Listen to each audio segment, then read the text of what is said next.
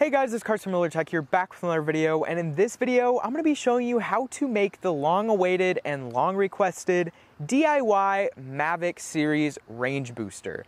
Now, this is something that I have not been able to find anywhere else on the internet, so I literally came up with this design myself. I went through a lot of prototypes and a lot of different planning, and I came out to this final design that is meant for any Mavic Series controllers, whether that be the Mavic Mini, the Mavic Pro, the Mavic Pro Platinum, the Mavic 2, the Mavic Air, whatever it is, with the exception of the new Mavic Air 2. And the reason for that is just simply the controller is different and it doesn't work because it doesn't have the same antennas coming out of it as all the other Mavic controllers do. However, everything else is still compatible. So in this video, what I'm gonna be doing is first off, letting you know why you may want to make something like this. And then I'll also secondly be showing you, of course, how to assemble this. And then also I'll at the end be giving you a real life test and showing you how this changes up your performance of whatever Mavic drone you are flying. Starting with the reasons for why you may want to make a DIY range extender like this is first of all, there are range extenders out there, obviously, that you can purchase, and I've got to say, they're not super expensive. But if you're looking for something fun to do and you're just wanting to make a extender yourself sometime, you don't want to wait for shipping, then this is your friend. This is basically free as far as all the materials go because you very likely have every single material that is required to make this in your house already. So you shouldn't have to go out and buy anything. Also, the main reason of wanting to have this on in the first place is to either boost your range or help assist your distance in very interference prone areas. However, I do gotta say, if you're using this for something like trying to fly far, far outside visual line of sight, I'm not endorsing using this in that case, and I'm not gonna be testing that in this video, but I still will be showing you how it does improve the range. Um, but with that being said, those are the main reasons why you would want to make something like this. So with that being said, let's get into the simple DIY of how to put this together. So let's get right into the assembly. This shouldn't take you any longer than 25 minutes. It personally took me 20 minutes to fully assemble this.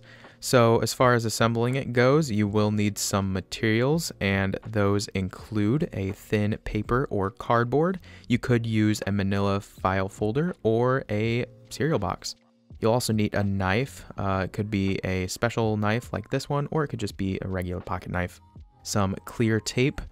You'll also need a school glue stick, a good pair of scissors, and some aluminum foil or pipe tape that is aluminum. And then, of course, you will need the printout of the design itself. So you will want to make sure that in the top right corner, that box does remain square, and it should be a one inch by one inch square when you're done printing it.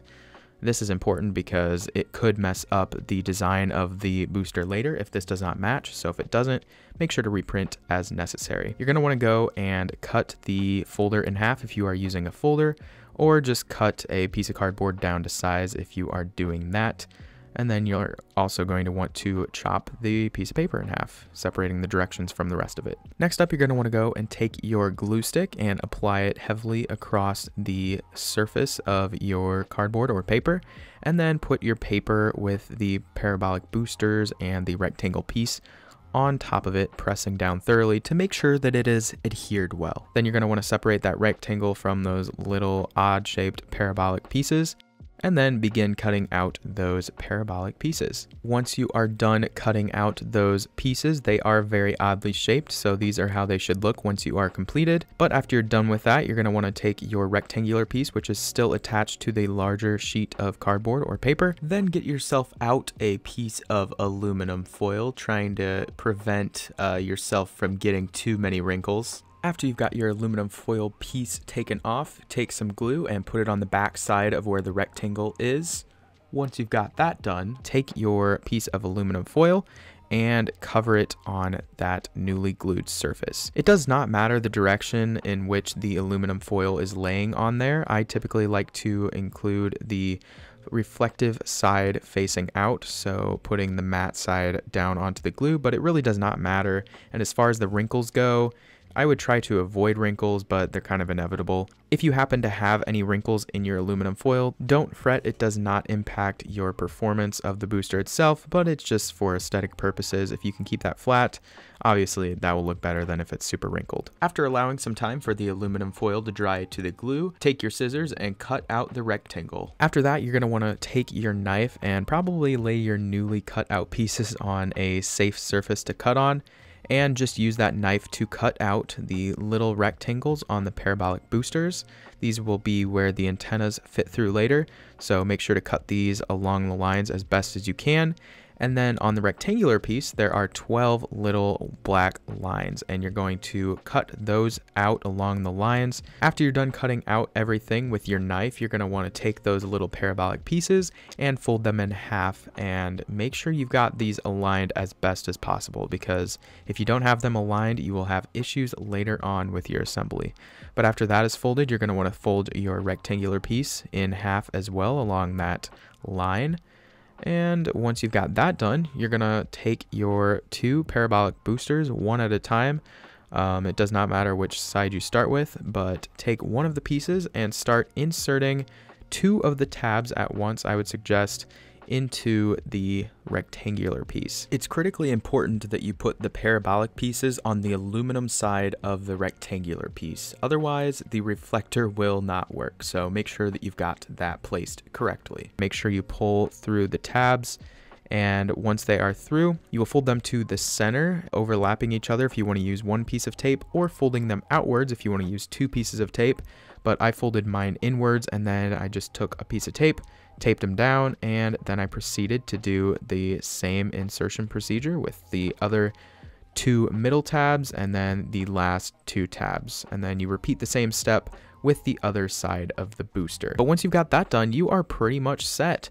The booster is now assembled and you can fold it back and forth just a little bit to make sure it's all moving correctly. Putting it onto the controller itself, as you can see here, fits on super easily, and because of the way it is designed, it is meant to go and friction hold on to the antennas, so you don't have to worry about it falling off if you're moving your controller around a ton or you're moving the antennas. It's kind of nice because it ends up moving both of the antennas at once if you are moving them into different positions. So even for that purpose, it makes it very nice and convenient for moving your antennas. But there you go. That is all for assembling these antennas. Uh, I hope you didn't find this too difficult. If you did, you can look back at those directions just to make sure they have all the same information that I just gave you here. But with that being said, let's move on to real life testing. All right, so to the real world test now. I am in front of a power distribution center currently. For this initial test, I'm going to remove the booster just to show you how the drone performs in typical flight without any modifications whatsoever as far as when I'm flying a distance away. If you're wondering why I am in front of this power distribution center, it is so then I can cause the most amount of interference, which is something you usually don't want to do with drones. However, in this case, I chose to do that because since I can't fly far away, I don't have a spotter today. Um, I will have to do this all by myself. I will have to make sure that I keep visual line of sight on the drone. So I'm just trying to cause the most amount of interference behind me to hopefully cause the drone to hit a point where you'll be able to tell that there's a difference between having the booster and not having the booster. At this point, I'm almost a thousand feet away.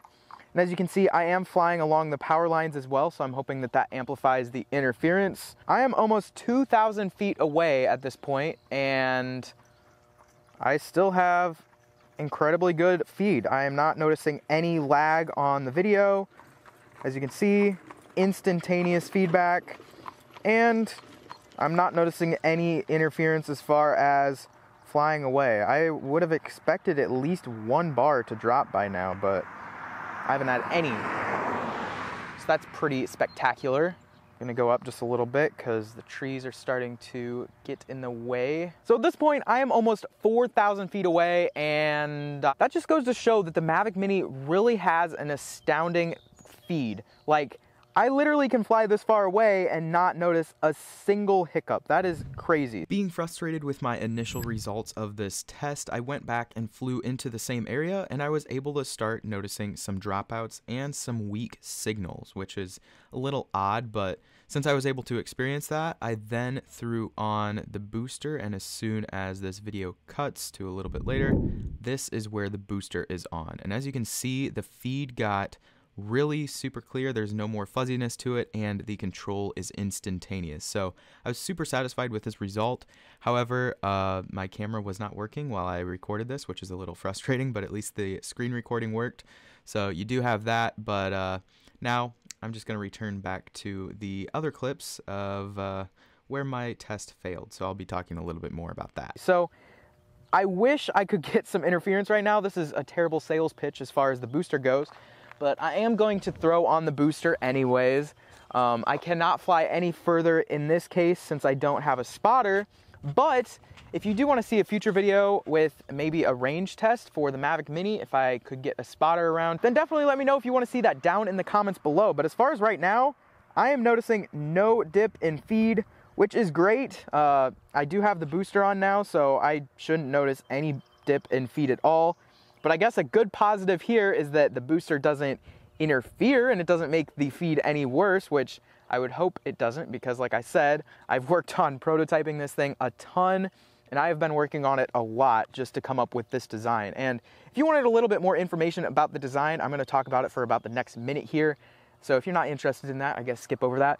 But the way that this booster works is it is called a parabolic booster. So as far as a parabolic booster goes, how it works is basically it allows for any signal that is on the front end of the booster, it will go and bounce that signal off of the reflector and into the antenna. No matter what angle it's coming in at, it will always go, bounce off, and hit to the middle. And this is similar to how satellite dishes work. If you've got Dish or DirecTV or any satellite service, that is how those antennas are made. And so this works on the same principles. I did not come up with the parabolic design, but I did shrink it down to where it works on the Mavic Mini and other Mavic controllers. So the design and shape of these boosters are incredibly important because if you get it off, even by a little bit, it won't reflect the signal correctly. So I'm now almost all the way back. And so that pretty much does it for this video. I really hope you enjoyed it. If you did, make sure to let me know by clicking the thumbs up button down below, as well as subscribing for future videos. Again, this is available for download for free down in the description below, but I'll also be leaving links to some free 3D print versions of this if you have a 3D printer, as well as some paid versions on Amazon if you're interested in buying a legit version. So with that being said, if you want to watch my last video, that should be up there, and some random videos should be down there. But that is it for this video. Hope to see you in the next one. Peace.